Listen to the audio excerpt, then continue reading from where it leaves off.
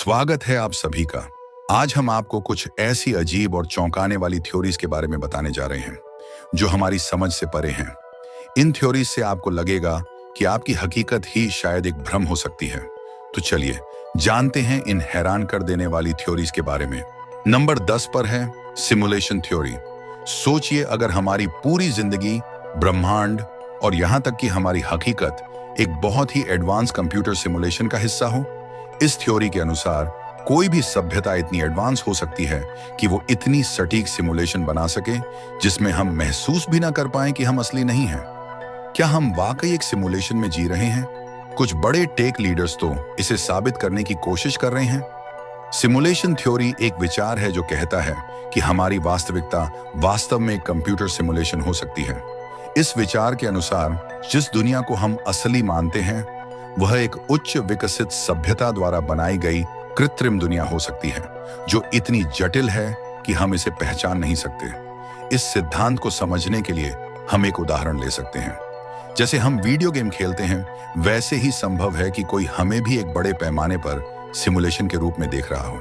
इसका मुख्य आधार यह है कि अगर किसी सभ्यता ने तकनीकी रूप से इतना विकास कर लिया हो कि वह जटिल सिमुलेशन तैयार कर सके तो यह संभव है कि हमारी वास्तविकता भी उसी का हिस्सा हो। भविष्य में सभ्यताएँ इतनी उन्नत हो सकती हैं कि वे वास्तविकता जैसी सिमुलेशन तैयार कर सकें। हम खुद भी एक सिमुलेशन में जी रहे हो सकते हैं और हमारी दुनिया का हर नियम उसी सिमुलेशन का हिस्सा हो। यह विचार भी है कि एक असली वास्तविकता भी हो सकती है, लेकिन हमें नहीं पता कि हम उसमें हैं या किसी सिमुलेशन में। ये विचार गहराई से दार्शनिक हैं और विज्ञान तकनीक और वास्तविकता की प्रकृति पर सवाल उठाते हैं। नंबर नौ पर है, मंडेला इफ़ेक्ट। क्या कभी ऐसा हुआ है कि आपको कोई घटना याद हो? लेकिन जब आप उसकी जाँच करें तो पता चले कि वो कभी हुई ही नहीं। इस थ्योरी के मुताबिक, यह किसी दूसरी हकीकत से टकराने का नतीजा हो सकता है। मंडेला इफ़ेक्ट एक ऐसी घटना है जिसमें कई लोग एक ही घटना या तथ्य को अलग तरीके से याद करते हैं, जबकि वास्तविकता में वह घटना वैसी नहीं होती। इस शब्द की उत्पत्ति तब हुई जब कई लोगों ने इस बात को याद किया कि नेल्सन मंडेला की मृत्यु 1980 के दशक में जेल में हुई थी, जबकि वास्तव में उनकी मृत्यु 2013 में हुई थी।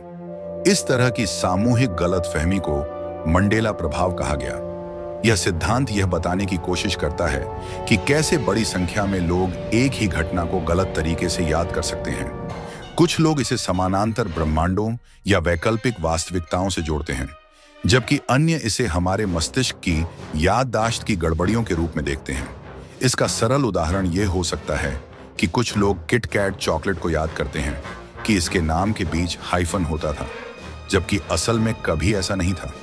इसी तरह की कई अन्य घटनाएँ भी हैं, जिनमें लोगों की यादें वास्तविकता से मेल नहीं खाती और इसे ही मंडला इफ़ेक्ट कहा जाता है।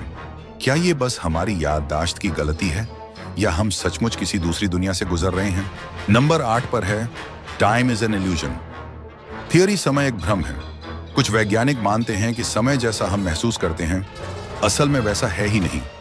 ब्लॉक यूनिवर्स थ्योरी के अनुसार, अतीत, वर्तमान और भविष्य सभी एक साथ मौजूद हैं, और हम बस इन घटनाओं के बीच से गुजर रहे हैं। अगर ये सच है तो इसका मतलब है कि जो कुछ भी हुआ है या होगा, वो पहले से तय है। और हम सिर्फ़ उसे अनुभव कर रहे हैं। समय एक भ्रम है। यह सिद्धांत कहता है कि समय जैसी कोई वास्तविक चीज़ नहीं होती। यह सिर्फ़ हमारी मानसिक और भौतिक समझ की एक अवधारणा है।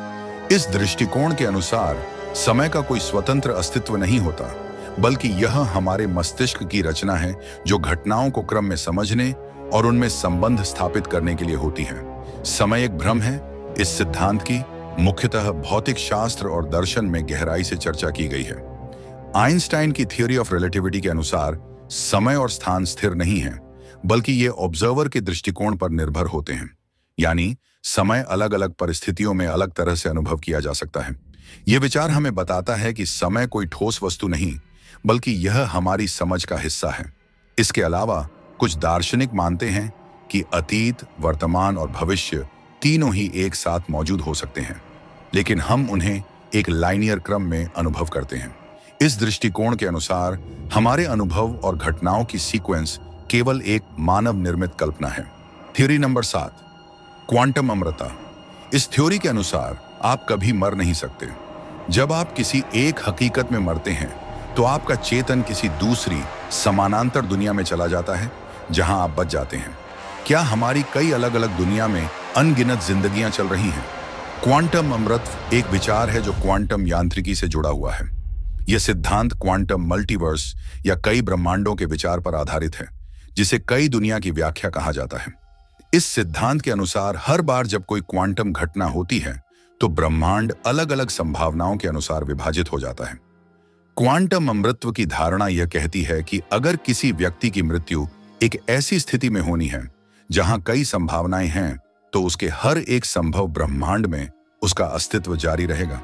इसका मतलब यह है कि भले ही किसी एक ब्रह्मांड में व्यक्ति की मृत्यु हो जाती है, लेकिन एक अन्य समानांतर ब्रह्मांड में वह जीवित रहेगा। इसलिए किसी व्यक्ति के दृष्टिकोण से उसकी कभी मृत्यु नहीं होगी, क्योंकि वह हमेशा किसी न किसी ब्रह्मांड में जीवित रहेगा। यह विचार विशेष रूप से क्वांटम यांत्रिकी के संदर्भ में आता है, और इसमें वास्तविक अमृता की बात नहीं की जाती। बल्कि यह संभावनाओं के आधार पर व्यक्ति के अस्तित्व को देखने का एक तरीका है। थ्योरी नंबर फर्मी विरोधाभास और द ग्रेट फ़िल्टर सिद्धांत। फर्मी पैराडॉक्स एक विज्ञान संबंधी प्रश्न है, जिसे 1950 में वैज्ञानिक एनरिको फर्मी ने उठाया था। उन्होंने कहा, अगर ब्रह्मांड में अनगिनत तारे और ग्रह हैं और जीवन विकसित होना आम बात होनी चाहिए तो फिर हम अभी तक किसी और सभ्यता के साथ संपर्क में क्यों नहीं आए हैं? यानी, अगर आकाश इतनी बड़ी है और जीवन के विकसित होने के अवसर इतने अधिक हैं तो हम अकेले क्यों हैं? इसका उत्तर देने के लिए द ग्रेट फ़िल्टर सिद्धांत दिया गया है। यह सिद्धांत कहता है कि जीवन के विकसित होने में कई बाधाएँ होती हैं, और ये बाधाएँ इतनी बड़ी हो सकती हैं कि अधिकांश सभ्यताएँ कभी उस स्तर तक नहीं पहुँच पाती जहाँ वे दूसरे ग्रहों या सभ्यताओं के साथ संपर्क कर सकें। इस फ़िल्टर का मतलब यह है कि या तो हमसे पहले जीवन के विकास के शुरुआती चरणों में ही अधिकांश सभ्यताएँ नष्ट हो जाती हैं, जैसे कि बायोलॉजिकल विकास या ग्रहों की अनुकूल स्थिति या हमारे बाद कोई ऐसी घटना होगी जैसे परमाणु युद्ध, जलवायु परिवर्तन या तकनीकी विनाश जिससे अधिक विकसित सभ्यता नष्ट हो जाती है। यदि ग्रेट फ़िल्टर हमारे पहले है तो इसका मतलब है कि हमने सबसे बड़ी बाधा पार कर ली है और हम ब्रह्मांड में एक दुर्लभ और अनोखी सभ्यता हैं। अगर ग्रेट फ़िल्टर हमारे भविष्य में है तो इसका मतलब है कि हमें अभी भी कई बड़ी चुनौतियों का सामना करना है, जो हमारी सभ्यता के अस्तित्व के लिए खतरा बन सकती हैं। ये विरोधाभास और सिद्धांत हमें सोचने पर मजबूर करते हैं कि ब्रह्मांड कितना बड़ा और रहस्यमय है, और हमारी सभ्यता को, अपने अस्तित्व को बनाए रखने के लिए क्या कदम उठाने चाहिए? थ्योरी नंबर पाँच, होलोग्राफिक ब्रह्मांड थ्योरी। सोचिए, अगर हमारी पूरी दुनिया असल में एक होलोग्राम हो यह थ्योरी कहती है कि जो कुछ भी हम तीन डी में देखते हैं वो असल में दो डी सतह पर ही लिखा हुआ है। बिल्कुल एक होलोग्राम की तरह। वैज्ञानिकों ने इस थ्योरी के पक्ष में कुछ गणितीय सबूत भी पाए हैं। क्या हमारी पूरी हकीकत महज एक प्रोजेक्शन है? होलोग्राफिक यूनिवर्स थ्योरी एक ऐसी अवधारणा है, जो कहती है कि हमारा पूरा ब्रह्मांड एक विशाल होलोग्राम की तरह हो सकता है। इसका मतलब यह है कि जो कुछ हम थ्री दुनिया के रूप में अनुभव करते हैं, वह वास्तव में दो सतह पर अंकित हो सकता है। और हम इसे एक तीन डी संरचना के रूप में देखते हैं। इस थ्योरी की शुरुआत 1990 के दशक में भौतिक शास्त्रियों ने की थी, जब उन्होंने यह देखा कि ब्रह्मांड की गणनाएँ और भौतिक नियम तब भी सही बैठते हैं, जब हम इसे दोडी में सोचते हैं। इसका एक उदाहरण ब्लैक होल के सिद्धांत से लिया गया है। वैज्ञानिकों ने देखा कि ब्लैक होल की सतह पर मौजूद जानकारी उसके भीतर की पूरी सामग्री के बारे में बता सकती है, जैसे कि वह ब्लैक होल एक होलोग्राम हो। अगर यह थ्योरी सही होती है तो इसका मतलब यह हो सकता है कि हमारा संपूर्ण ब्रह्मांड एक तरह से प्रोजेक्टेड है, और हम जो कुछ भी अनुभव कर रहे हैं, वह वास्तव में उस सतह पर मौजूद जानकारी का एक प्रतिबिंब हो सकता है। इस विचार ने विज्ञान और दार्शनिक चर्चा को एक नया आयाम दिया है, क्योंकि यह हमारी वास्तविकता और चेतना की प्रकृति पर सवाल खड़े करता है। नंबर चार पर है एंथ्रोपिक प्रिंसिपल ये थ्योरी कहती है कि ब्रह्मांड वैसा ही है जैसा होना चाहिए, कम से कम हमारे अस्तित्व के लिए। इसका मतलब है कि हमारे ब्रह्मांड के नियम और स्थितियाँ जीवन के लिए एकदम सही हैं, क्योंकि अगर वो सही नहीं होते तो हम यहाँ होते ही नहीं। एंथ्रोपिक सिद्धांत एक दार्शनिक और वैज्ञानिक सिद्धांत है, जो कहता है कि ब्रह्मांड के कुछ पहलू और नियम ऐसे हैं, जो इस तरह से बने हैं कि उनमें जीवन, खासकर मानव जीवन, पनप सके। इसका मतलब यह है कि अगर ब्रह्मांड के नियम या प्रारंभिक स्थितियाँ थोड़ी भी अलग होती तो शायद जीवन संभव ही नहीं होता। इस सिद्धांत के दो प्रमुख रूप हैं।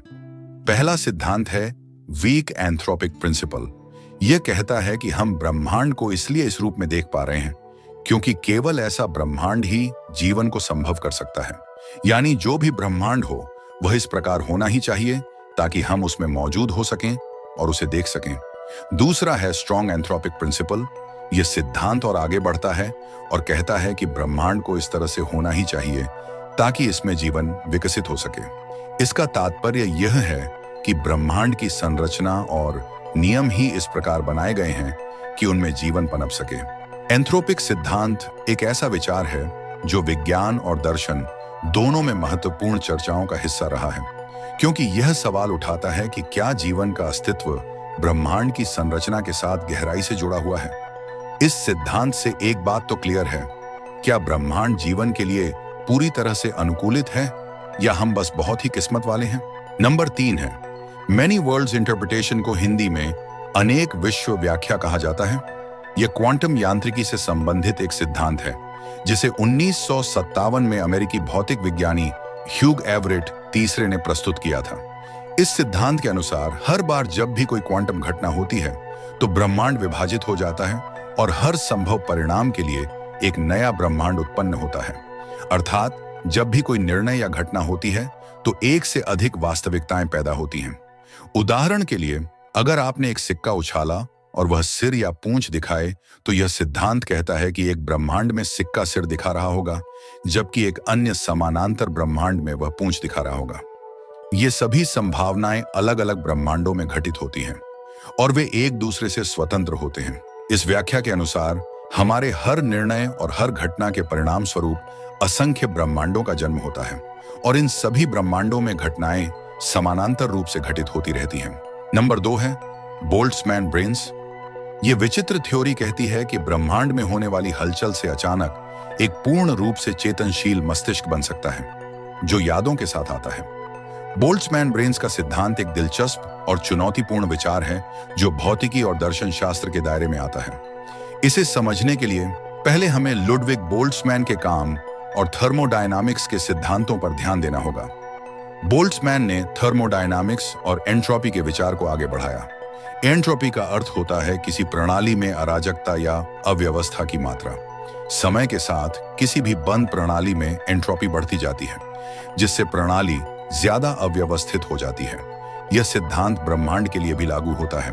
बोल्ड्समैन ब्रेन्स का सिद्धांत कहता है कि अगर ब्रह्मांड इतना विशाल और पुराना है तो इसमें अनगिनत रैंडम क्वांटम फ्लक्चुएशंस होते रहते हैं। ऐसे में थ्योरी यह बताती है कि किसी खास समय पर रैंडम क्वांटम फ्लक्चुएशंस में से अचानक से एक मस्तिष्क जैसे हमारा उत्पन्न हो सकता है, जिसमें अस्थायी रूप से चेतना हो सकती है। इसे बोल्ड्समैन ब्रेन कहा जाता है। इस स्थिति में हम सब सिर्फ़ अंतरिक्ष में तैरते हुए मस्तिष्क हो सकते हैं और हमारी पूरी हकीकत एक भ्रम हो सकती है। हैरान करने वाला है ना? आखिर में नंबर एक पर है, डार्क फॉरेस्ट हाइपोथेसिस। ये थ्योरी कहती है कि ब्रह्मांड में उन्नत सभ्यताएँ मौजूद हैं, लेकिन वो खुद को छिपा रही हैं। ब्रह्मांड एक अंधेरे जंगल की तरह है, जहाँ हर कोई शिकारी है, और अगर आप खुद को प्रकट करते हैं तो तुरंत किसी अन्य सभ्यता द्वारा नष्ट हो सकते हैं। क्या हम इस ब्रह्मांड में अकेले हैं या छिपी हुई उन्नत सभ्यताएँ हमें देख रही हैं? डार्क फॉरेस्ट हाइपोथेसिस एक सिद्धांत है, जो यह समझाने की कोशिश करता है कि हम अभी तक ब्रह्मांड में किसी भी एलियन सभ्यता से संपर्क में क्यों नहीं आए हैं। इसे लेखक ल्यू सिक्सिन की किताब, द थ्री बॉडी प्रॉब्लम की श्रृंखला में लोकप्रियता मिली। इस सिद्धांत के अनुसार, ब्रह्मांड एक विशाल और खतरनाक अंधेरे जंगल की तरह है। हर सभ्यता शिकारियों से भरे इस जंगल में छिपी रहती है। और जैसे ही किसी सभ्यता को पता चलता है कि कोई दूसरी सभ्यता मौजूद है, वह उसे खतरे के रूप में देखती है। चूँकि हर सभ्यता अपनी अस्तित्व की सुरक्षा चाहती है, इसलिए वह दूसरी सभ्यता को नष्ट कर सकती है, ताकि खुद पर कोई खतरा न बने। इस कारण से सभी सभ्यताएँ खुद को छिपाने की कोशिश करती हैं और एक दूसरे से संपर्क नहीं करती। संक्षेप में, इस सिद्धांत का मतलब है कि हो सकता है कि ब्रह्मांड में जीवन हो, लेकिन सभी सभ्यताएँ अपनी सुरक्षा के लिए खामोश और छिपी रहती हैं, जिससे हम उनके बारे में कुछ भी नहीं जान पाते। तो ये थी दस ऐसी अजीब थ्योरीज जो आपके होश उड़ा देंगी। इनमें से कौन सी थ्योरी आपको सबसे ज़्यादा हैरान कर गई? हमें नीचे कमेंट्स में बताइए। और अगर आपको ये वीडियो पसंद आया हो तो लाइक शेयर और सब्सक्राइब करना न भूलें। अगली बार तक अपने आसपास की दुनिया पर सवाल उठाते रहिए।